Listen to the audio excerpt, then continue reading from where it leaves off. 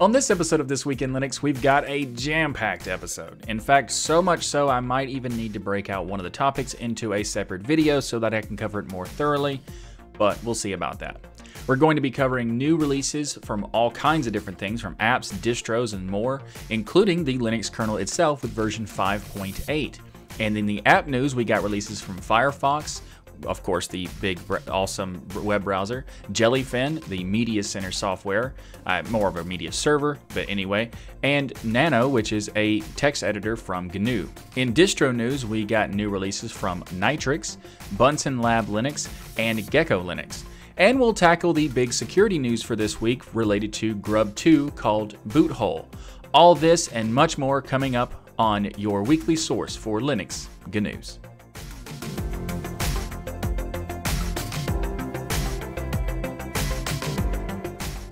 This episode of This Week in Linux is sponsored by DigitalOcean and by Bitwarden.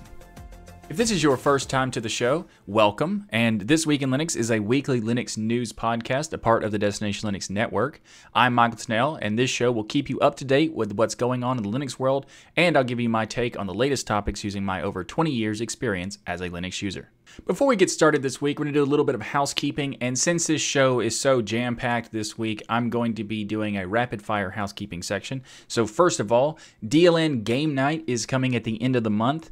I'll tell you about what the actual date is on the next episode. But just so you know, Game Night is coming. And if you are not uh, familiar with what we do, basically it's just a collective of everybody, a part of the DLN community, joins to play some games, and we stream it live. So if you want to be a part of that, be sure to uh, check out the Destination Linux Network website where you can find information about that as well as the other podcasts that are on the network, including two other shows that I do. So go to destinationlinux.network to find out more about that. And also follow me on Twitter or Mastodon to keep up to date with the Linux things that I'm doing for this show, this channel, and even the DLN game night because I will be posting about that as well. So, all that is done. Done with the housekeeping. Let's go to the show. But first in the show this week is the latest release of the namesake of this show, and that is Linux kernel 5.8 has been released. So this is not a huge update, but it is a lot of important stuff like bug fixes and things like that. So we're going to talk about the highlights. So we have some networking stuff, some driver fixes, and some architecture stuff related to ARM, x86, and PowerPC. First of all, there's some improvements to ButterFS. There's also some people calling it BetterFS, and even some people call it Butterfuss. I don't know why anybody would do that, but I looked at the Wikipedia about how to pronounce this one because someone complained about how I pronounced it, and turns out there is no actual pronunciation of ButterFS because there's all, all of them are accepted, even just saying the letters or whatever. So Butterfest is what I'm going for because it sounds fun and it's smooth like butter. Anyway, so also support for Shadow Call Stack has been added for the ARM64 architecture. Inline encryption support for the block layer. Support for LZO RLE compression has been added in the F2FS file system. Init RD memory boot option has been added for specifying initial RAM disk image. Also, there's a new buffer allocation API, which makes it easier to write XDP network drivers and a lot of other stuff. We're going to talk about now for some security stuff. We have uh, previous Spectre mitigations that were impacting AMD CPU are no longer impacting it because the mitigation wasn't for AMD and didn't need to be actually addressing AMD CPUs. So they have fixed that. So now this will be actually better, even better performant for AMD processors. Another mitigation has been added for special register buffer data sampling or SRBDS, aka crosstalk vulnerability. So this is this is a based way to solve a hardware vulnerability affecting certain Intel processors. Again, AMD users not affected. Uh, they've also improved some security for ARM64, which now supports branch target identification or BTI, and also the shadow call stack. And they're going to move on to drivers now. The exFAT driver optimization improvements have been made and fixes have been made by Samsung. If you're not aware, um, exFAT is made by Microsoft and they made their own kind of driver that was not very good and even the kernel developer said it was not very good. So it takes a third party to fix exFAT, Microsoft's uh, own file system. Anyway, Also, support for Thunderbolt ARM or USB 4.0 has been added, as well as some driver updates for USB Type C. And also, let's talk about a little bit more about AMD because there's been a lot of things ha- happening specifically for AMD in this latest release. So they've introduced AMD Energy Driver allows getting energy reports per socket per core on Zen and Zen 2 CPUs. It allows users to see their CPU power consumption per core, which is fantastic. And AMD Renoir, Renoir, Renoir, it's not Renoir, it's R E N O I R Renoir. Renoir? Probably not. CPU temperature monitoring has been added. Also, ACP audio support has been added as well. And AMD GPU trusted memory zone support has been added, including improving for AMD GPU thermal cutoffs, as well as many more things. And also, we have support uh, updates, improvements for Power 10 processor, which is not AMD, by the way, but Power 10 processor is not even out yet, which is really cool because they're having this processor is not meant to be arriving until 2021, and it's already having support in the Linux kernel, which is fantastic. I love to see those kinds of things. So if you want to learn more about the latest release of 5.8 for the Linux kernel, you'll find a link in the show notes below. Up next in the show this week is Firefox 79 has been released. There's been a lot of improvements and stuff like that for this one, as well as some security enhancements improved to their built-in tracker blocker. It's the second iteration of their enhanced tracking protection feature, or ETP. They've also added a lot of uh, screen reader related things, which is really cool. So SVG label and description elements are now correctly exposed to assistive technology products like screen readers and also the Firefox developer tools received significant fixes, including various screen reader tools are now accessible for the developer tools, which is awesome. They've also made a new password export feature, which makes it possible to export your saved passwords and logins to a CSV file, which you can then use to migrate to Bitwarden by going to bitwarden.com/dln. Yep. And also, they've done some improvements to some more security things related to links on websites because there's this really weird thing that, you know, basically the web has been kind of cobbled together over the course of decades, creating some issues that have to be addressed. And one of those things is that some links have a refer thing that can be taken over through JavaScript. And Firefox has added a, this new configuration for links called rel equals no opener. This being added to all links that have a target of underscore blank, which basically means open new window, open new tab, that kind of thing. And it's supposed to be like a new website rather than taking over their existing website so that when you click this link it will take you to another place rather than t- taking you off your existing site. So a lot of people do use underscore blank but that creates a potential problem of javascript issues so essentially, this means it prevents the linked websites from using JavaScript to take control over the referring window, which would be very bad. And this no no opener is actually a best practice by web developers and stuff like that. So i've been using it for years and this has actually been on the Mozilla agenda for a couple of years as well, but they have fixed it, which is fantastic. There are also extensions for people who are using other uh, other browsers and stuff like that to address it. So there's even extensions in Firefox still if people want to use those, but I really like the fact that it's built into the software now because it allows you to have automatically support for fixing this so you're not susceptible on any links in Firefox at this point. So that's awesome. If you are a web developer and not using no opener rel related stuff in, in the attribute inside of your links, you need to fix that as soon as possible.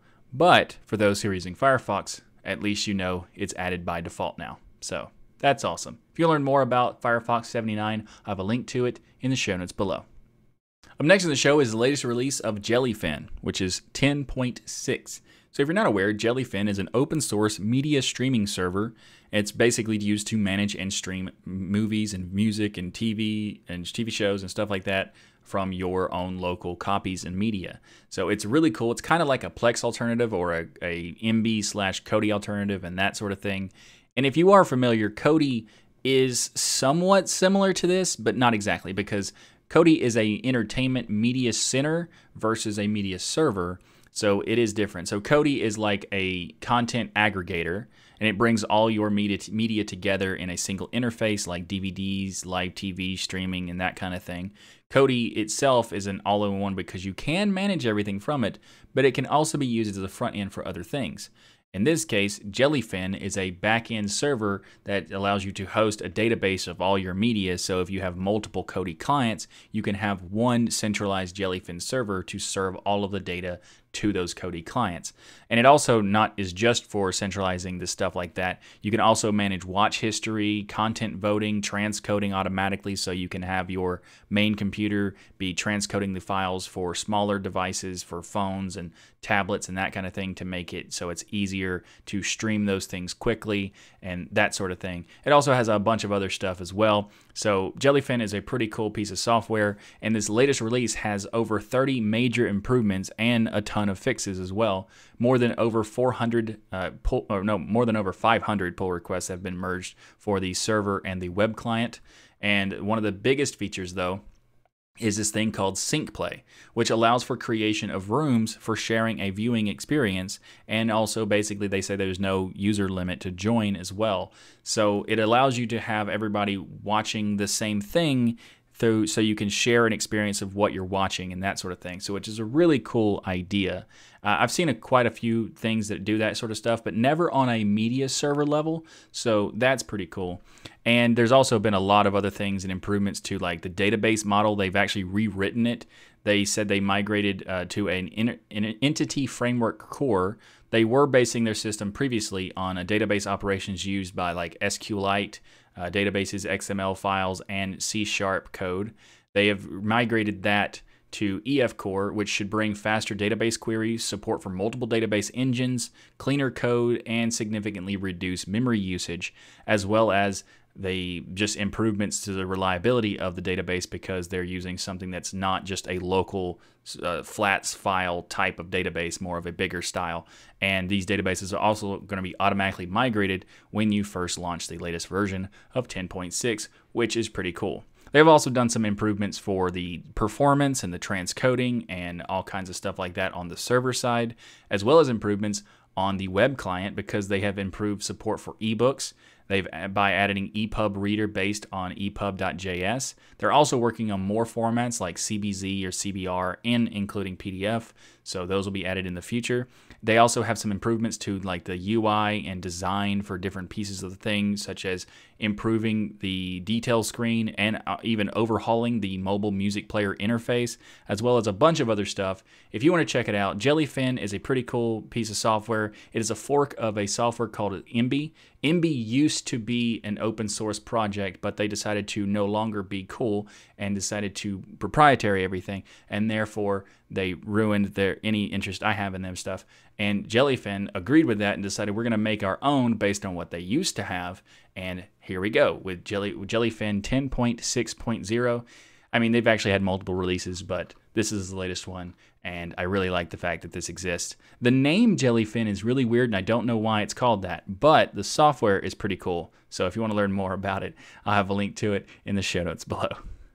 This episode of This Week in Linux is sponsored by DigitalOcean. DigitalOcean offers the simplest, most developer friendly cloud platform. It's optimized to make managing and scaling apps easy with an intuitive API, multiple storage options, integrated firewalls, load balancers, and more. And you can get all this plus access to their world class customer support for as low as $5 per month.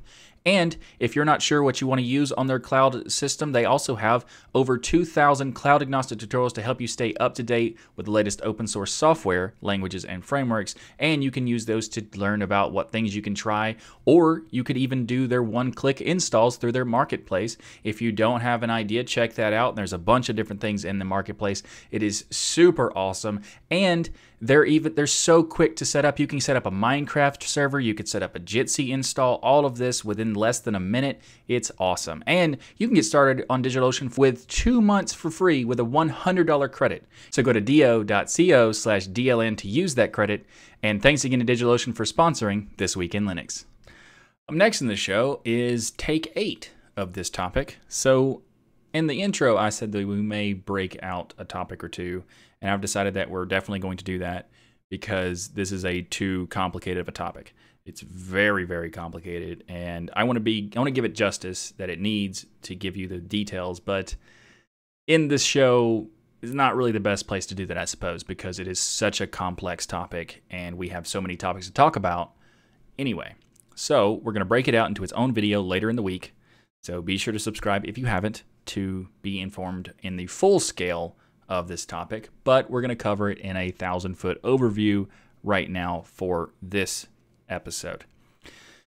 So, Grub 2 has uh, has some vulnerabilities. They were found, and the first vulnerability was found by a security company, Eclypsium. Ellipsium, I'm not sure, discovered a vulnerability that they have named Boothole. So what Boothole does is essentially enables circumvention from hackers to be able to bypass the UEFI secure secure boot mechanism. This essentially gives the total control of an operating system or hypervisor. Now, you may have seen something about secure boot and non-secure boot users. So some people have said that if you're not, you know, they've presented it as non-secure boot users don't have to worry about this vulnerability. And that is true. You're not impacted if you don't have secure boot.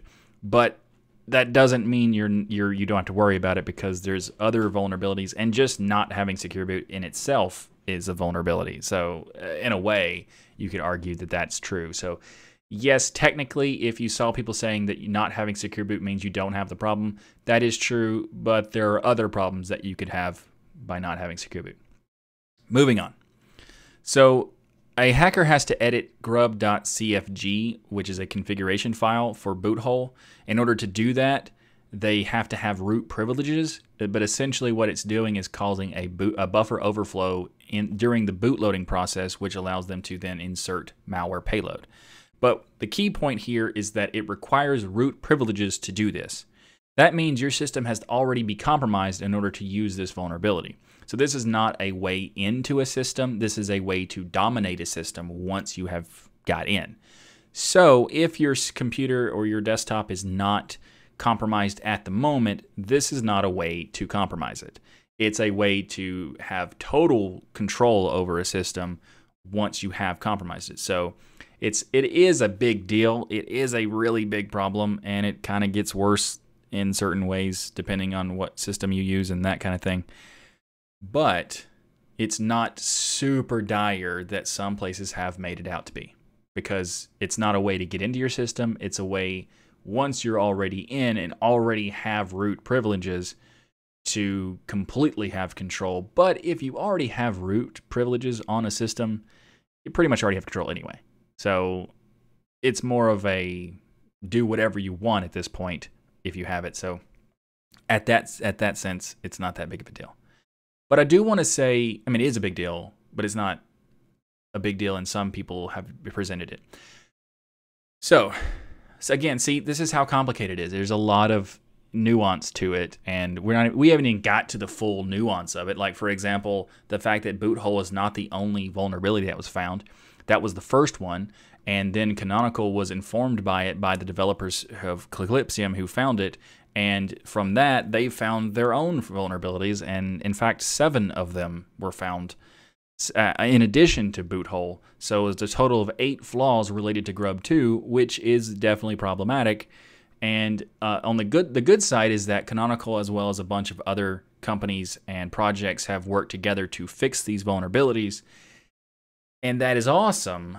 But there's some still some issues with that those those patches being implemented and deployed. So that's why the extra video is necessary because it's a lot. It's a lot because it's not just boot hole. It's also the Grub2 signing certificate signing stuff creates other issues. Though if you even if you fix this patch and deploy it, you still have other problems to fix with like firmware stuff. And anyway, we're gonna make a whole video about this to give you a full topic. But for now, that's what it is.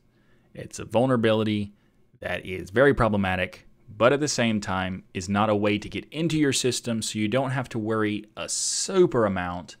And there's really nothing you can do anyway right now.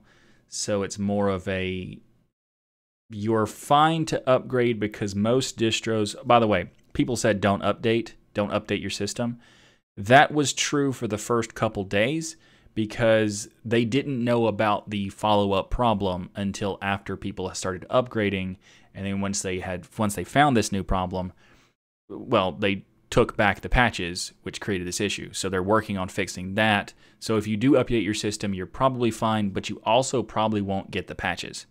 So that's why there's say that there's it's such a complicated topic i'm going to make a whole video about it but just know be careful when you download things because there are people who might be putting payloads that allows them to affect your system in the in this case using this problem. Because if you download a live ISO from somehow and then you boot it on the same machine it is technically possible to use that ISO to then infect another system on the computer because of this secure boot vulnerability. And yeah it's complicated let's move on to the next topic that's related to this topic, which is equally complicated and will also be broken out into a video. However, I'll probably just combine the two into a single video. But yeah, let's move on. So next up is a topic that you may or may not have seen related to Boothole, saying that Red Hat system booting issues are happening because of Boothole, and even some saying that this system can't boot anymore and that kind of thing. So there's a couple things I wanted to clear up first here uh, one, it is technically true, but also there's some nuance. Of course, there's nuance because this topic is just a monster. Anyway, so we have the thing about it's not exclusive to Red Hat. It also applies to Debian, Ubuntu, Fedora, well, Fedora, Red Hat, you know, whatever, and other things that have the same kind of problem with Secure Boot. So the, the fundamental issue here is that this problem was found after issuing the patches for Secure Boot or the boot hole grub 2 issue. So this this problem vulnerability was fixed, but it also in the fix there was a side effect in that uh, Secure Boot's security authority or CA is actually Microsoft, and Microsoft decided to just kind of nuke it from orbit and kill all signatures of all previous versions of Grub and all that stuff, so Secure Boot wouldn't accept them anymore which in a way is kind of like a good idea, but at the same time creates its own problem. So it creates the problem that the old signature cannot boot, but the new signature needs to be updated in the firmware to get the new version of Grub booted. So if at in this period of time, which is a couple days, if you had upgraded your system, the certificate authority is looking for a signature that is not available from the new Grub 2 because it has it has to be re-signed and make new signatures for it. And so it's basically there it's the the CA is saying that this certificate is not valid, therefore the system can't boot with this version of Grub. The old version of Grub signatures have been invalidated because of the vulnerability, creating this period of roadblock where the system couldn't boot. Now, those issues have been rolled back for distributions that have experienced it. And that means that while you can update your system now, uh, you couldn't for a couple of days, but you can now, you're probably not going to get the update for Grub anyway. So it creates this kind of sort of limbo situation that where the Grub 2 boot hole vulnerability patches exist and can be patched, they're not being deployed yet because of this side effect problem. So, the good thing about that is it is being worked on. It will be fixed relatively soon, probably in a couple weeks or week or somewhere around there. I don't know. I don't know how long it takes. I'll just go ahead and put that out there. I don't know how long it takes to fix these kind of problems. They've known about the problem for a couple months before they announced the patches how they fix the vendor firmware issue, certificate authority issue related to these patches, I don't know how long that will take, but I suspect it won't be that long because of how impactful, important this is, and how many companies are affected by it, and how many people are looking at this problem to fix it. So I don't know how long it will be, but I don't think it'll be that long. So just so you know, when you update, you're probably okay now. You weren't a few days ago but you are now probably, depending on your distro and how adamant they are about making sure that this update has been addressed and the side effect has been addressed. I don't know. But when you do update now, it will not include this patch. So keep that in mind. You still might be affected by this patch. Maybe in the rare possibility that someone has already infected your machine, or you download an ISO that has that, or whatever. So it's not likely you'll be affected. It's a very small amount of possibility. But the patches have not been deployed yet, so just keep that in mind. Man, this is a complicated topic. I'm glad I decided to break it out into different sections in a whole other video, and still, it's like 15 minute long topic, or it's over 10 minutes for sure. I don't know how long it is, but it's still a long topic, even though I'm giving you the overview. Yeah. So if you want to learn more about this topic, I'll have links in the show notes. But also, be sure to subscribe for the future video about the more complex version of this. Up next in the show is the latest release of GNU slash Nano, which is a text editor for the terminal. It's a very simplistic text editor that doesn't have a ton of features, but it's also a text editor that is very common in basically every distribution. So if you need to edit config files and stuff like that, then this is how you would do it and in like the early stages of using Linux. There are also other terminal-based editors, but they're way more complex than Nano. And Nano is actually a topic that we covered in an episode of Destination Linux, episode 183, and we called it "It's Okay to Use Nano" because some people have, you know, different opinions of that and give a little bit of an elitism approach to if you can't, if you're not using Nano, you're not using Linux or whatever nonsense that is. Uh, but it was just kind of funny to me that I wanted to cover Nano's latest release because they have a big 5.0 release just basically right after we covered them on uh, covered the project on the show for Destination Linux. And we had no intention that that was going to be well timed but turns out it was. So yeah let's get into the latest release of 5.0 the latest release has a new command line parameter called dash dash indicator, which shows kind of a scroll bar on the right hand side of the screen. Now, if you're watching the video version of the show, you will see in the video version a demonstration of the latest Nano inside of a, ter a terminal that shows you this kind of scroll bar thing. This is there to indicate where in the buffer the viewport is located and how much it covers. So it's essentially kind of how a scroll bar works in general, except when it says kind of a scroll bar, it means it's not really, it's not mouse reactive, so it's not exactly a scroll bar in what you expect a scroll bar to do. It's more of an indicator of where you are in the file, which is still helpful, but there you go, just know that. They also added some new abilities to tag and untag lines with an anchor. So you can hit Alt Insert and this will add an anchor to whatever line you are on so that way you can jump back and forth between different anchors using Alt page up and page down, which allows you to really quickly navigate between uh, inside of files or like really large files through Nano, which is a pretty cool addition. They've also added some improvements to an execute command prompt that is now accessible, uh, directly accessible from the main menu, as well as the formatter, spell checker, and linter, and suspension, and all a bunch of other stuff that are now available in this menu too. Uh, they've also added syntax for Markdown, Haskell, and ADA I'm not sure if they're supposed to pronounce it that way, but uh, those were added in this latest release, which is pretty cool. And they've also done made, uh, made it where backup files will retain their group ownership when possible in this latest release, as a bunch of other stuff. So if you are not familiar with Nano and you want to see, you know, the uh, latest updates, well, latest release, we'll have a link in the show notes below for 5.0, but I'll also have a link for the Destination Linux episode where we talk about Nano and why it's okay to use it. This episode of This Week in Linux is brought to you by Bitwarden. Bitwarden is the password manager that I use and trust, and I have been using it for quite a long time. And if you want to check it out, you can go to bitwarden.com/dln to get started with your free account. And password managers are very, very important.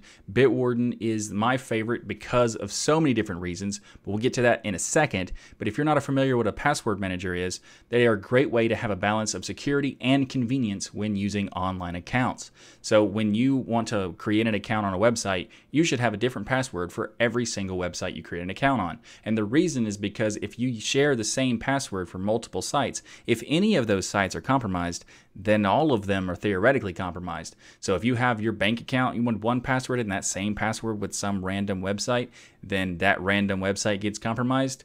well, your bank password is not safe anymore at that point. So it's better to have a different password for every single website, and that's also complicated though. So how do you keep track of it? Password managers. They're essentially essentially a vault that allows you to log into that vault, and that's the only thing you need to remember is how to get into the vault. Once you're in, everything else is set up for you, and it will remember all that stuff for you. So you create the password, create the account, save it in your Bitwarden, and you're done. You just go back into Bitwarden whenever you need it, autofill the passwords, good to go. Such a great thing. And also, it's 100% open source software. That's right. I kind of buried the lead right there. But it's open source software, meaning they are so confident in the security of their software that they are allowing you to see the source code to make it. That is awesome. And not only that, they're confident enough in their source code that they hire third party companies to audit the security of their source code. And they have recently just announced a new uh, a new security audit that they they finished. And it's just so awesome to, to be a, to have this company be sponsoring This Week in Linux because I'm such a fan of their software and the way they handle the ethics of open source software and security audits. And they even let you self host the software too if you want to. So remember, go to bitwarden.com slash DLN to get started with your free account, or you can check out their premium account, which is only starts at $10 per year. That's right. Super inexpensive, $10 per year. You get a bunch of extra awesome features, and you can do what I do, which is basically I use this. I do the premium account because it's only ten dollars a year, and I just appreciate all the work that they have done and the the fact that they're trusting me enough to you know open the source their software and then pay for security audits and all that stuff i mean the least i can do is pay $10 a year for their service. So make the smart move like many from the community have and go to bitwarden.com slash dln to get started for free. Or if you're like me though you'll want to show your appreciation by signing up for that premium edition especially since the premium edition only starts at $10 a year. Thanks again to bitwarden for sponsoring this week in linux and the destination linux network up next in the show is the latest release of the Nitrux distribution of 1.3.1. This is an Ubuntu based Linux distro that uses a 64 bit architecture, and they have a very interesting approach in a variety of ways. They use the NX desktop, which is their own desktop customization layer sitting on top of Plasma 5, and this is you can I'll have a link to the desktop pay, website by itself because they allow you to use NX Desktop on other places, so you can download that and that kind of thing. But also they have it where if you want to just try it out through Nitrux, you can do that as well. And actually, the NX Desktop is really interesting and it looks really nice in many ways. I'm not a fan of the really bright Windows approach, but overall, I think it's a really really nice looking. Uh, distribution and a really nice looking desktop. And I think some of the ways they handle Plasma 5 is better than the way that Plasma 5 handles it. So there's that. Also, there's really interesting thing is that they use app images as the main distribution application package for it. It's not the only thing they have, but it is a really like focal point for the distribution, which I think is very very interesting. Uh, if you're not familiar, app images are is a universal format for applications on Linux, as along with snaps and flatpaks. Uh, I'm actually going to do a video about all three of those in the future. So if you're interested about that, be sure to subscribe to the channel. Also, uh, there's this latest release brings software updates, bug fixes, performance improvements, and improvements to uh, hardware support, to like out of the box hardware support for new devices and that kind of thing. It comes with a, Plasma 5.19.4, which is the latest version. It also comes with the latest uh, frameworks and KDE application suite. Uh, there's a new KDE application suite coming out soon, if it hasn't already come out. Well, it's coming out soon. Yeah. Uh, but it's coming. It currently has the latest version, which is the 20.4.03. They also done some upgrades and improvements to the GTK theme. It's now closer to the Kvantum. Is it Kvantum? I don't know if it's Kvantum or Kvantum. I don't know. And the plasma color scheme, so it makes it look more like they're, they're more cohesive, and it looks like it fits better in their system, which is great. The ISO for the Nitrux distribution now uses LZ4 compression, which gives it faster installation times, which is really nice to see. And they've also improved the UI for the Calamares installer by replacing it with their own uh, QML port module called Calamares-QML, which is pretty interesting. And if you're not aware, Nitrux is also the creators of the Maui Kit, uh, Maui Kit application It's uh, the Universal Interface Toolkit for making applications, and they uh, created. We talked about the Maui Kit project a few weeks ago when it, there was a name conf- uh, conflict, a name collision with Microsoft's new Maui thing.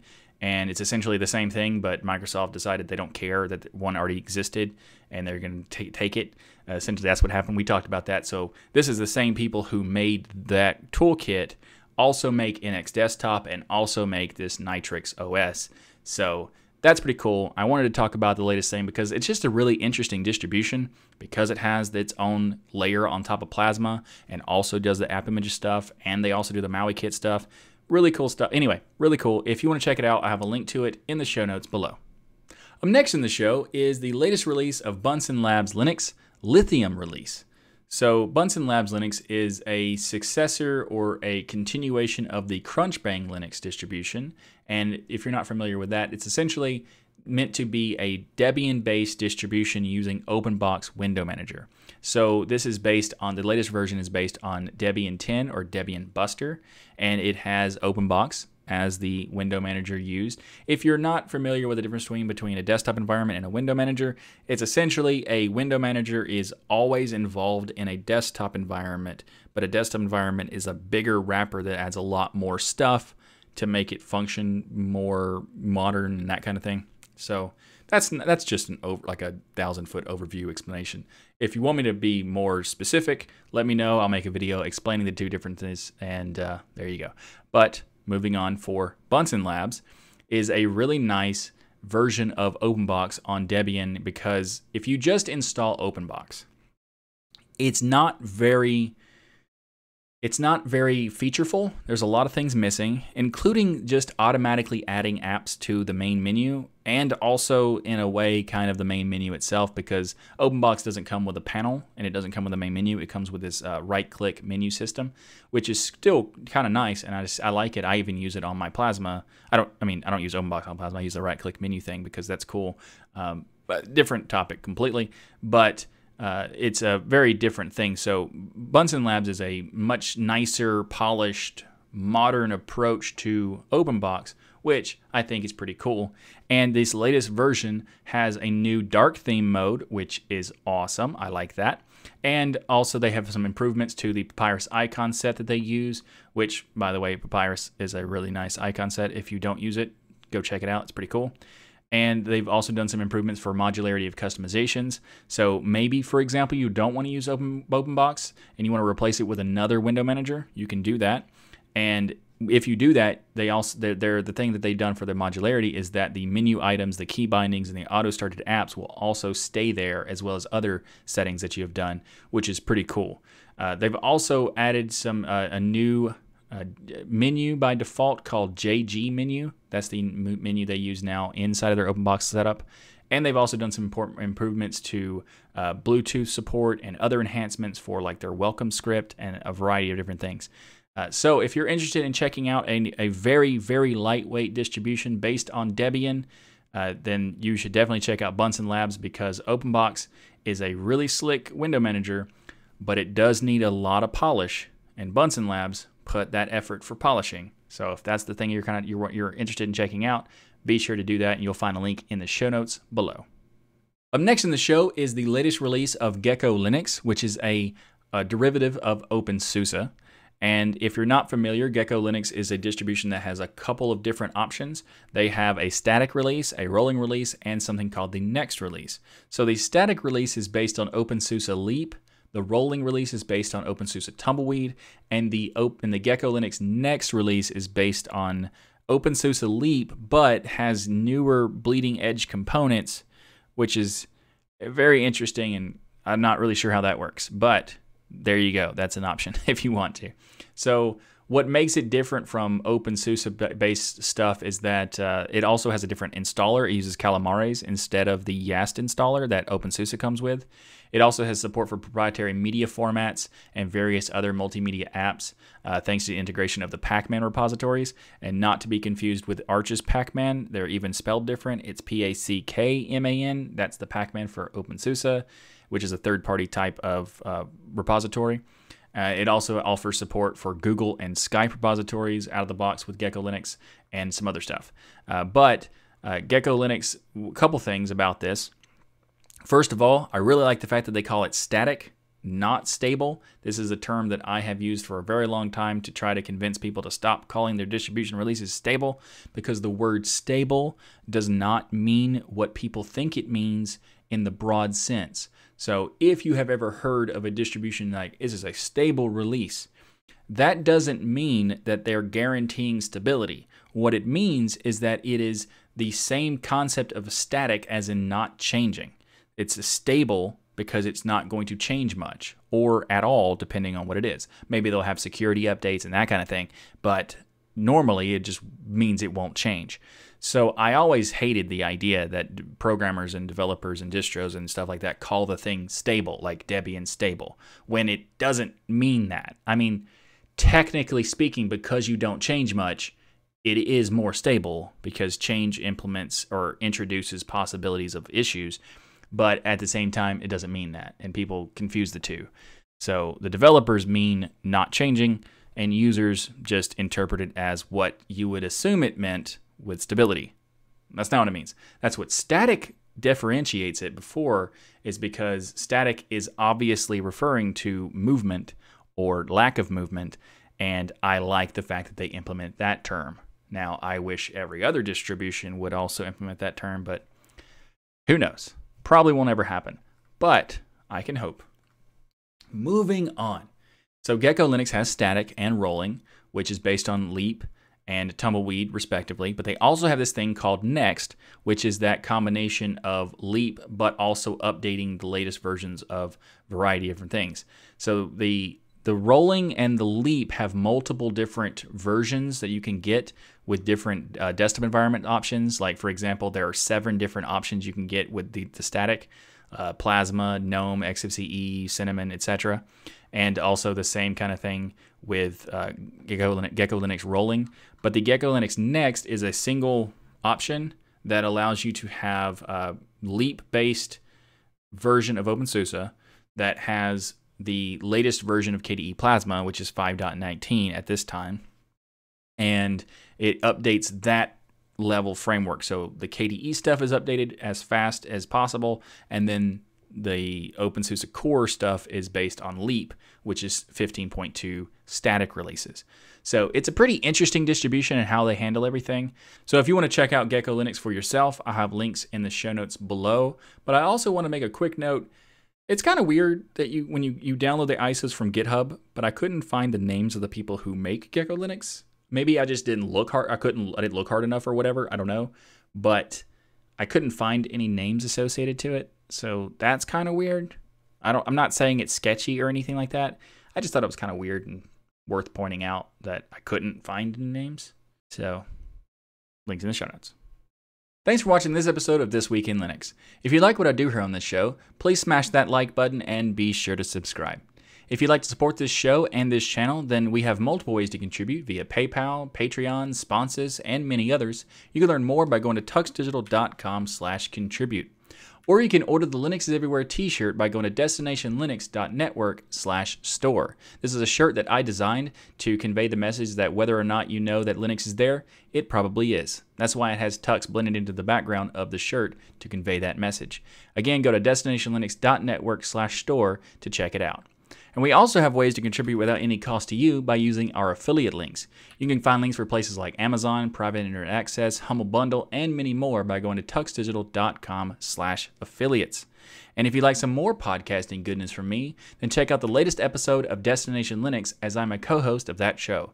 And the latest episode we have Let's Squash Some Bugs, where we talk about bug reporting in Linux and open source and how we can solve it. And next episode coming out is the how to fix tech support for Linux. So you want to check that one out as well, as well as the one I mentioned earlier in the show about it's okay to use Nano, which wasn't actually planned to be during the time that Nano came out with a new version, but it just happened that way, so that's pretty cool. Anyway, check it out, destinationlinux.org to find out more about that show, which is an awesome show, and it's not because I'm a part of it and that makes it unbiased, but I am a part of it. I am a little bit biased, but it is still awesome because, yes, exactly. Anyway, So thanks again for watching. I'm Michael Tunnell with Tux Digital and This Week in Linux. And as always, keep using, learning, and enjoying Linux. And I'll see you next week for another episode of your weekly source for Linux GNews.